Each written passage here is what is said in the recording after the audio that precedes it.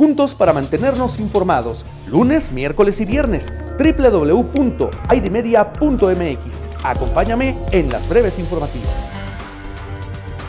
¿Qué tal? Bienvenidos a las breves informativas a través de ID Media. Gracias por estar acompañándonos y por enterarte a través de nuestra plataforma de los acontecimientos más relevantes a nivel local, nacional e internacional. Mi nombre es Alonso Herrera Trejo y comenzamos dando seguimiento a esta noticia sobre un avión de Aeroméxico que se accidentó en el aeropuerto de Durango, alrededor de las 15.45 horas del pasado martes, se registró un accidente aéreo correspondiente al vuelo AM 2431 mientras intentaba despegar del aeropuerto Guadalupe Victoria de Durango con dirección a la Ciudad de México. De acuerdo a reportes de la empresa Aeroméxico, alrededor de 103 personas viajaban a bordo de la aeronave de la marca brasileña Embraer 190, entre ellos cuatro integrantes de la tripulación. Elementos de emergencia acudieron al kilómetro 17 de la autopista Durango-Torreón para atender a los pasajeros heridos de la aeronave. La empresa pidió a la población mantenerse pendiente de más información y señaló que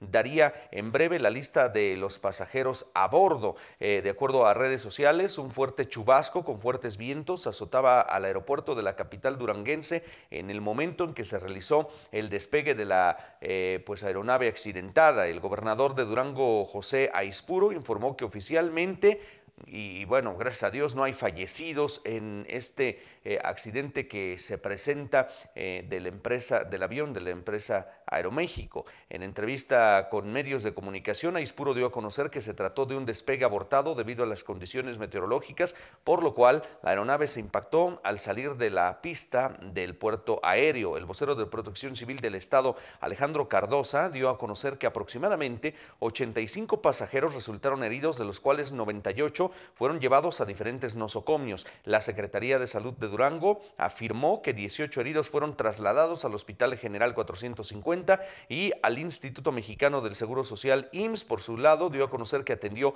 a 12 personas en el Hospital General Zona 1 de esa capital estatal. Por su parte, el ISTE brindó atención a siete heridos, tres de los cuales ya fueron dados de alta y cuatro siguen bajo observación médica. Israel Solano Mejía, director de la Unidad Estatal de Protección Civil de Durango, informó que casi todos los pasajeros salieron por su propio pie y que cerca de 37 personas sufrieron lesiones, sobre todo quemaduras. Un pasajero relató que el avión intentó despegar, pero una fuerte corriente de aire le impidió esta situación, causando que a la vez, bueno, pues se le acabara la pista para el despegue. Asimismo, el presidente Enrique Peña Nieto también emitió un mensaje a través de sus redes sociales en donde señalaba haber instruido en tiempo y forma a la Secretaría de Defensa Nacional para la atención de los heridos. Afortunadamente, en este accidente, estamos hablando de que hubo saldo blanco, sí, no salieron bien librados algunos pasajeros con heridas menores, ya se encuentran recuperándose en diversos hospitales, pero bueno, pues gracias a Dios y por fortuna les dio oportunidad de abandonar la nave antes de que estallara en llamas. También, bueno, uno de los testigos relató que aproximadamente después de que habían bajado a todos los pasajeros del avión, Corrieron cuatro minutos y en el minuto número cuatro fue cuando este avión inmediatamente se comenzó a incendiar. Así las cosas allá en Durango son las breves informativas. Soy Alonso Herrera Trejo y más adelante nos volvemos a encontrar.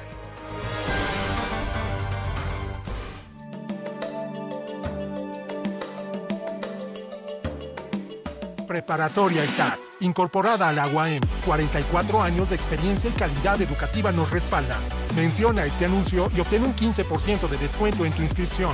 213-1280. Colegiaturas congeladas todo el año. Inscripción anual. Preinscripción gratis. Preparatoria ITAT. Tu prepa.